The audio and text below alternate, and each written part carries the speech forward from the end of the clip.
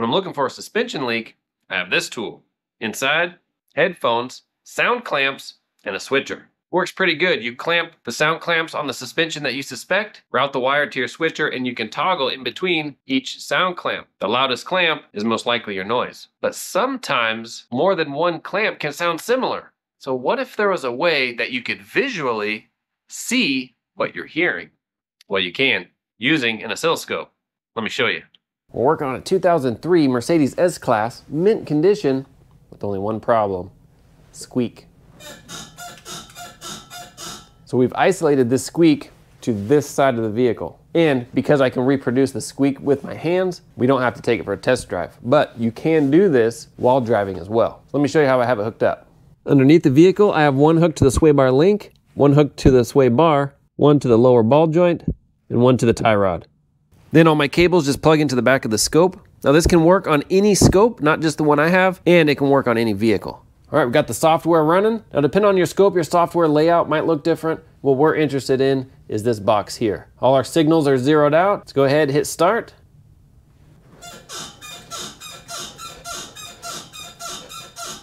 And that is our noise visually. So let's zoom in and see what we got. So you can see our blue trace here, that has the highest amplitude. That's our loudest noise. And then the green and the red are kind of similar, and then the yellow is the least. Let me turn these off. You see our yellow is the least, so we can rule out the yellow as being our noise. Red and green are kind of similar, so we might move those around to a different spot close to their location, get another reading. But blue definitely is the loudest. So blue is hooked up to our number four slot in the back. We'll see what color that is. That is white. There's a white little tag on it, and then there's white tape on the other end. So let's go find our white and see what that's hooked up to. So right here is our white connected to our lower ball joint. That was our loudest. There was a little noise coming from our tie rod and a little noise coming from our sway bar link, but the least was coming from our sway bar. So right here, our sway bar bushings, those tend to squeak sometimes when they dry out. We can rule that out because our sway bar isn't making much noise. But our link has a little noise on it. Our tie rod and the loudest is our ball joint. So what do all those have in common? They're connected to our steering knuckle. So if the noise is causing a vibration down one of these metal components, they can reverberate through the steering knuckle and make the noise spread out to other components. So let me move these around. I'm gonna leave that one there and move these other three to different locations and see if our lower ball joint is still the loudest or if there's something else. All right, we got them moved around.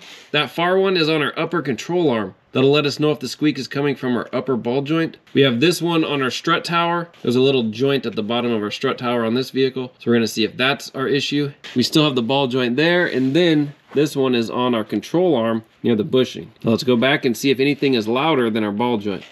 I'm gonna hit play. All right, let's make some noise. Okay, so you can see now our red, before the blue was the most, now our red is the most. Let's turn off our yellow, turn off our red. You can see how small the blue is now. And then the green we can rule out completely. The blue we can rule out. That red is a lot more than the others. And then our yellow is, is still quite a bit less. So our red, if we look in the back, our red is trace number two, which is green. It's this green one here. So now let's go under, see what green is hooked up to. So green is hooked up to our strut. Right here, there's a little joint that our strut is attached to. So this joint right here looks like it's making most of our noise. The other one that's connected to our control arm is this one here. It doesn't have any color on it, so that's just black. So let's see what color this is at the scope. So in the back of the scope, black here is trace number one. And when you look, trace number one is yellow, which makes sense. So our lower control arm, anything connected to our lower control arm is making the majority of our noise because that's where the strut is connected to. All right, I think we got our noise pinpointed. On this particular setup, the strut tower is connected to a little bracket. That metal bracket at the bottom has a ball joint that connects to your lower control arm, allowing that strut to flex. That ball joint is what's making our noise. Unfortunately, you can't replace that ball joint by itself. The whole lower control arm has to be replaced. So let's do that real quick and we'll make sure that noise is gone. With the control arm removed, check out our noise. And unfortunately, there's no way to remove it. You have to replace the whole control arm. All right, all back together, moment of truth.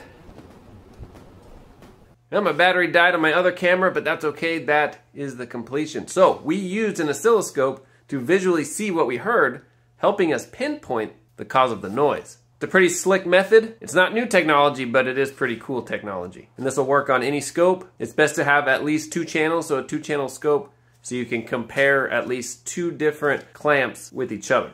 If you'd like to see the repair of this 2003 Mercedes, click on this video here where we replace the lower control arm in detail. Thanks for watching. Like, subscribe, see you on the next one.